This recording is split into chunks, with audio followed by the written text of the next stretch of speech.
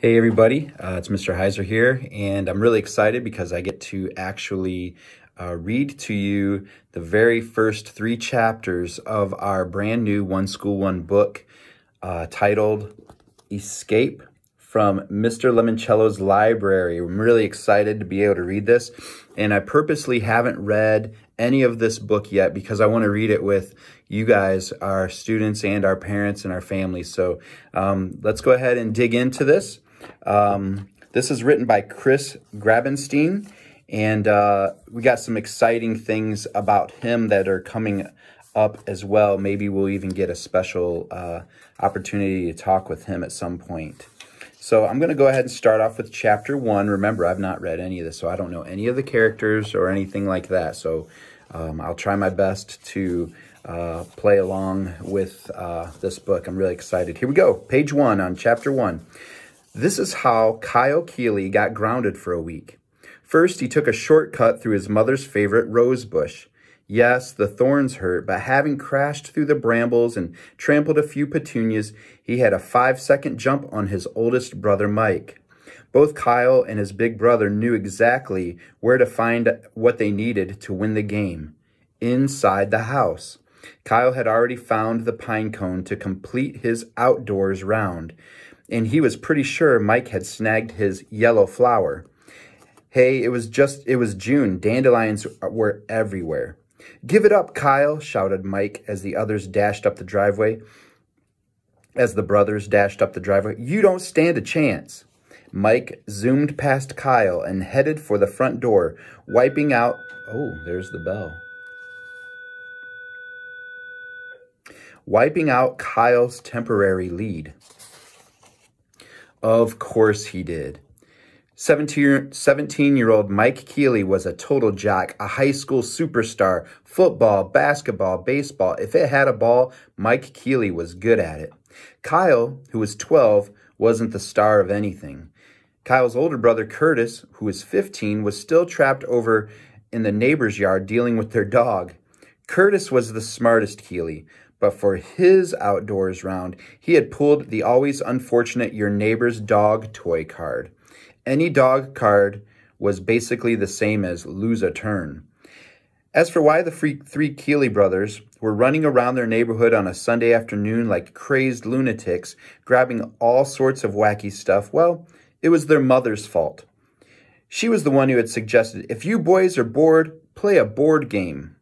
So Kyle had gone down into the basement and dug up one of his old-time favorites, Mr. Lemoncello's indoor-outdoor scavenger hunt. It had been a huge hit for Mr. Lemoncello, the master game maker.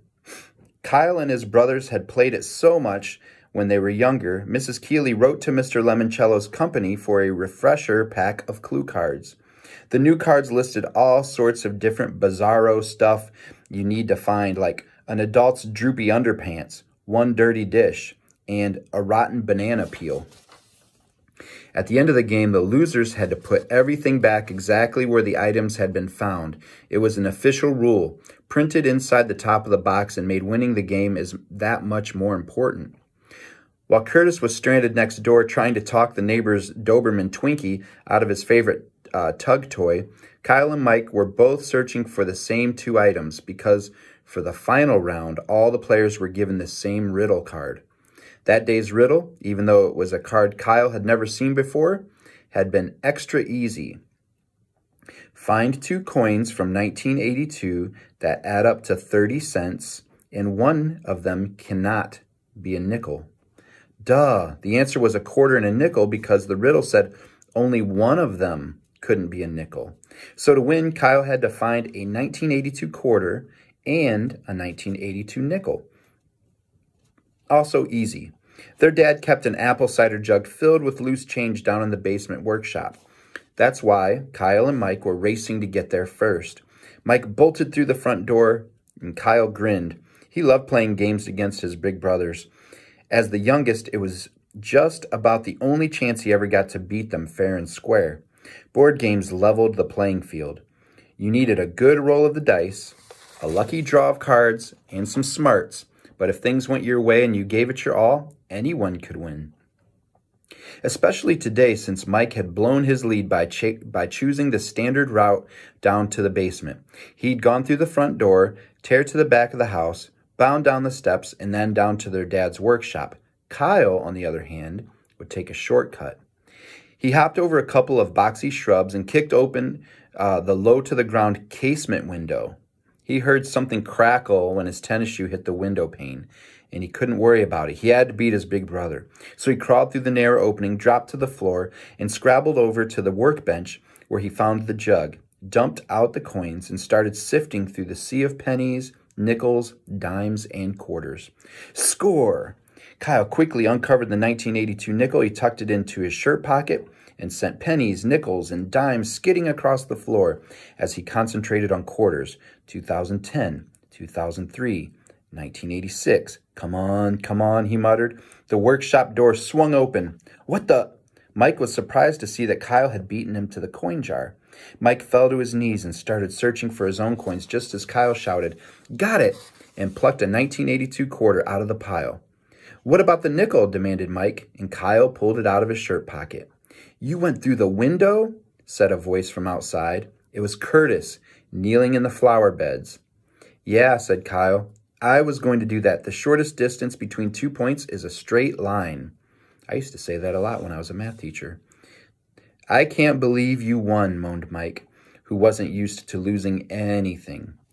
Well, said Kyle, standing up and strutting a little, believe it, brother, because now you two losers have to put all the junk back.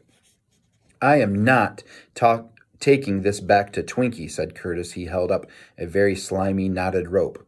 Oh, yes, you are, said Kyle.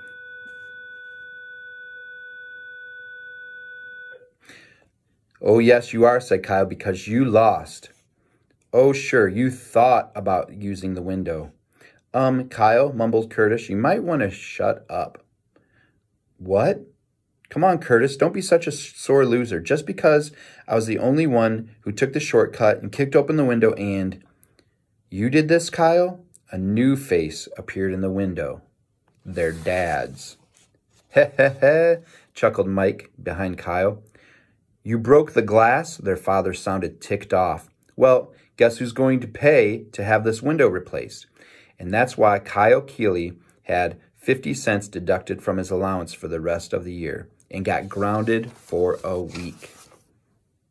Chapter 2 Halfway across town, Dr. Yanina Zinchenko, the world famous librarian, was walking briskly through the cavernous building that was only days away from its gala grand opening.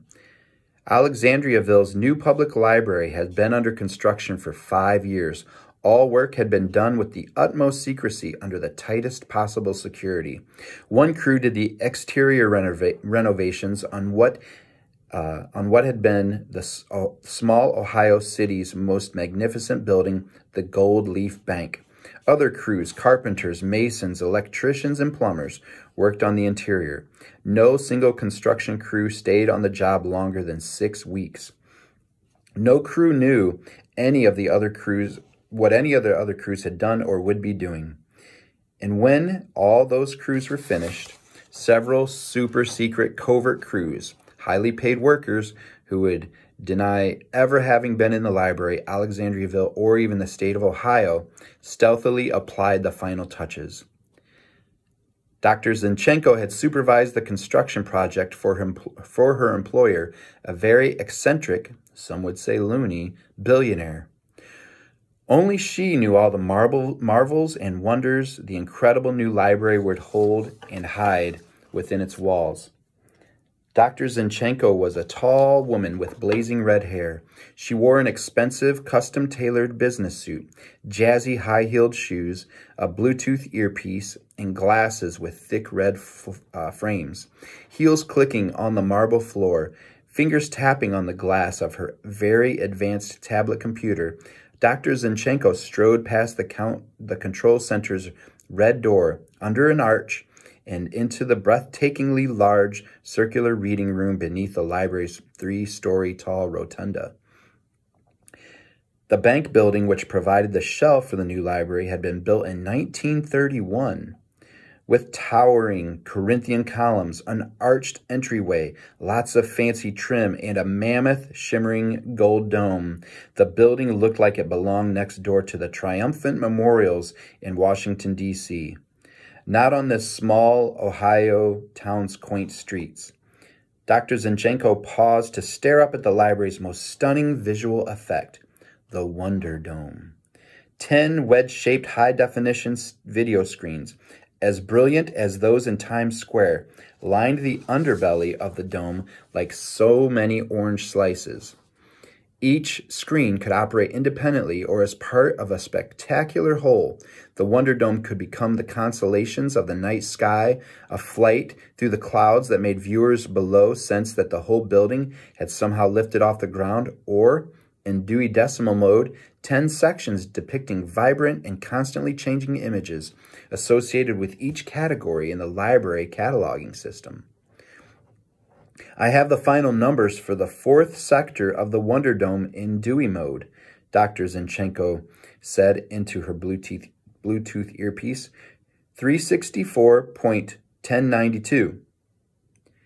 She carefully over-enunciated each word to make certain the video artist knew what specific numbers would occasionally drift across the fourth wedge amid the swirling social sciences montage featuring a floating judge's gavel, a tumbling teacher's apple, and a gentle snowfall of holiday icons. The numbers, however, should not appear until 11 a.m. Sunday. Is that clear? Yes, Dr. Zinchenko, replied the uh, tinny voice in her ear. Next, Dr. Zinchenko studied the holographic statues projected into black crepe-lined re recesses cut into the massive stone piers that supported the arched windows from which the Wonder Dome rose. Why are Shakespeare and Dickens still here? They're not on the list for opening night. Sorry, replied the library, library's director of holographic imagery, who was also on the conference call. I'll fix it. Thank you. Exiting the rotunda, the librarian entered the children's room. It was dim with only a few uh, a few work lights glowing, but Dr. Zinchenko had memorized the layout of the miniature tables and was able to march without bumping her shins into the story corner for a final check on her recently installed geese. The flock of six audio animatronic goslings, fluffy robots with ping-pongish eyeballs created for the new library by Imagineers who used to work at Disney World. Stood perched atop an angled bookcase in the corner. Mother Goose in her bonnet and granny glasses was frozen in the center. This is Library 1, said Dr. Zinchenko, loud enough for the microphones hidden in the ceiling to pick up her voice. Initiate story time sequence. The geese sprang to mechanical life. Nursery rhyme. The geese honked out, ba ba black sheep, in six part harmony. Treasure Island? The birds yo ho hoed their way through 15 men on a dead man's chest. Dr. Zinchenko clapped her hands. The rollicking geese stopped singing and swaying. One more, she said. Squinting, she saw a book sitting on a nearby table. Walter the Farting Dog. The six geese spun around and farted, their tail feathers flipping up in sync with the noisy blasts. Excellent. End story time. The geese slumped back into their sleep mode. Dr. Zinchenko made one more tick on her computer tablet. Her final punch list was growing shorter and shorter, which was a very good thing. The library's grand opening was set for Friday night. Dr. Z and her army of associates had only a few days left to smooth out any kinks in the library's complex operating system. Suddenly, Dr. Zinchenko heard a low, rumbling growl. Turning around, she was eyeball to icy blue eyeball with a very rare white tiger. Dr. Zinchenko sighed and touched her Bluetooth earpiece. Miss G, this is Dr. Z. What is our white Bengal tiger doing in the children's department? I see. Apparently, there was a slight misunderstanding. We do not want him permanently positioned near the Jungle Book. Check the call number, 599.757. Right. He should be in zoology. Yes, please, right away. Thank you, Mrs. G. Miss G. And like a vanishing mirage, the tiger disappeared. Chapter 3 Of course, even though he was grounded, Kyle Keeley still had to go to school. Mike, Curtis, Kyle, time to wake up, his mother called from down the kitchen. Down in the kitchen, Kyle plopped his feet on the floor, rubbed his eyes, and sleepily looked around the, his room. The computer handed down from his brother Curtis was sitting on a desk that used to belong to his other brother, Mike. The rug on the floor with its Cincinnati Reds logo had also been Mike's when he was 12 years old. The books lined up in the bookcase had been lined up on Mike's and Curtis's shelves except for the ones Kyle got each year for Christmas from his grandmother. He still hadn't read last year's edition. Kyle wasn't big on books. Unless they were the instruction manual or hint guide to a video game, he had a Sony PlayStation set up in the family room. It wasn't the high def Blu ray PS3, it was the one Santa had brought Mike maybe four years earlier. Mike kept the brand new Blu-ray model locked up in his bedroom. But still, clunkier than that it was, the four-year-old gaming console in the family room worked. Except this week. Well, it worked. But Kyle's dad has, had taken away his TV and computer privileges. So unless he just wanted to hear the hard drive hum, there was really no point in firing up the PlayStation until next Sunday when his sentence ended. When you're grounded in this house, his father had said, you're grounded. If Kyle needed a, a computer for homework during his last week of school, he could use his mom's, the one in the kitchen. His mom had no games on her computer. Okay, she had Diner Dash, but that didn't really count. Being grounded in the Keeley household meant that you couldn't do anything except, as his dad put it, think about what you did that caused you to be grounded. Kyle knew what he had done. He'd broken a window, but hey, I also beat my big brothers. Good morning, Kyle, his mom said when he hit the kitchen. She was sitting at her computer desk, sipping coffee and tapping keys. Grab a toaster tart for breakfast. Curtis and Mike were already in the kitchen, chowing down on the last of the good toaster tarts, the frosted cupcake swirls. They left Kyle the unfrosted brown sugar cinnamon, the ones that tasted like the box that they came in. I actually like the brown sugar cinnamon ones. Hmm. New library opens Friday just in time for summer vacation, Kyle's mom mumbled, reading her computer screen. Been 12 days since they tore down the old one. Listen to this, boys. Dr. Yanina Zinchenko, the new public library's head librarian, promises that patrons will be surprised by what they find inside. Really? said Kyle, who always liked a good surprise. I wonder what they'll have in there. Um, books maybe, said Mike. It's a library, Kyle. Still, said Curtis, I can't wait to get my new library card. Because you're a nerd, said Mike. I prefer the term geek, said Curtis. Well, I gotta go, said Kyle, grabbing his backpack. Don't want to miss the bus. He hurried out the door. What Kyle really didn't want to, to miss were his friends. A lot of them had Sony PSPs and Nintendo 3DSs, loaded with lots and lots of games. Kyle fist bumped and knuckle knocked his way up the bus aisle to his usual seat. Almost everybody wanted to say hey to him, except, of course, Sierra Russell. Like always, Sierra, who was also a seventh grader, was sitting in the back of the bus, her nose buried in a book, probably one of those girls who lived in tiny homes on the prairie or something.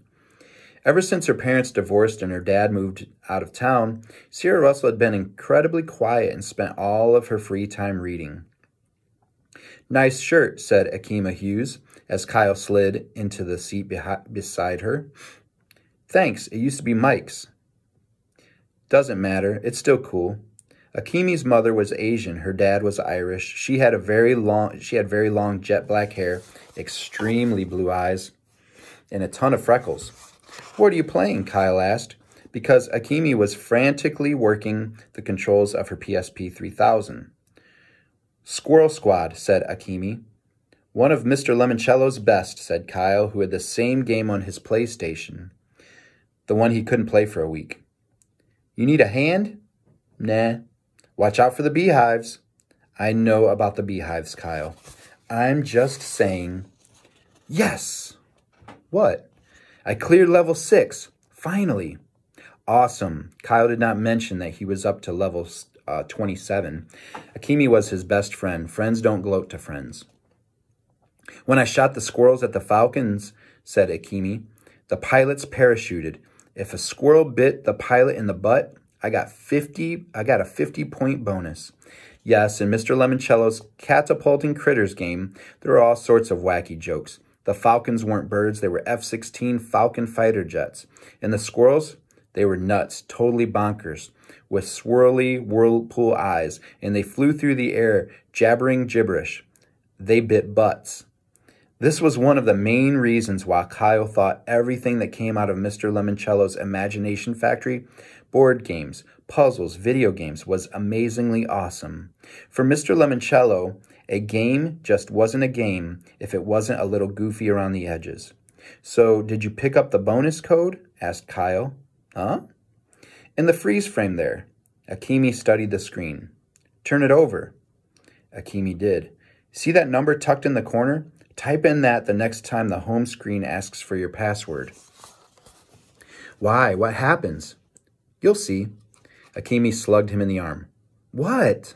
Well, don't be surprised if you start flinging flaming squirrels on level 7. Get out. Try it, you'll see. I will, this afternoon. So, did you write your extra credit essay? Huh? What essay? Um, the one that's due today about the new public library? Uh, refresh my memory. Akimi sighed. Because the old library was torn down 12 years ago, the 12 year olds who write the best essays on why I'm excited about the new public library will get to go to the library lock in this Friday night. Huh? The winners will spend the night in the new library before anybody else gets to see the place. Is this like that movie Night at the Museum? Will the books come alive and chase people around in junk? No, but there'll probably be free movies and food and prizes and games. All of a sudden, Kyle was interested. Ooh, I'm going to read chapter four really bad, but I'm going to wait. I'm going to wait until tomorrow to read chapter four, but I'm very, very excited about that. That was chapters one through three of the um, Escape from Mr. Lemoncello's library. I hope you had a good time, and I believe uh, Mr. Farr will be reading tomorrow. Have a wonderful day, everybody. Go Pirates.